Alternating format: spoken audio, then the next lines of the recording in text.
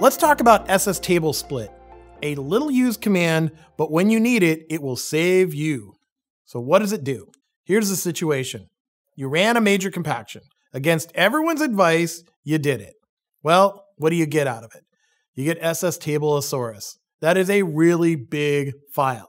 One SS table containing all the data in your node. Not recommended. So when that happens to you, luckily we have a way to get out of it. Now that may not be the only situation.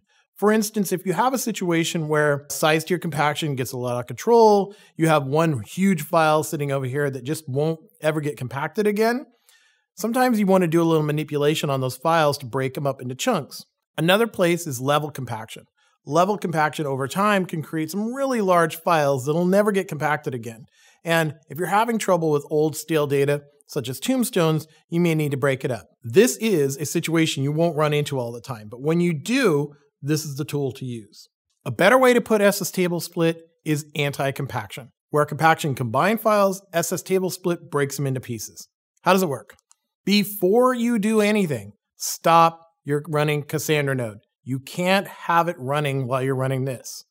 That's just a bad thing because what's going to happen is it potentially could be compacting something that you're uncompacting, and then you're in trouble. The usage is pretty simple. If you look at this table, there's just a few options, but they're really important. So SS table split is done on an SS table, one of the data files sitting on your disk. So you have to provide that file name.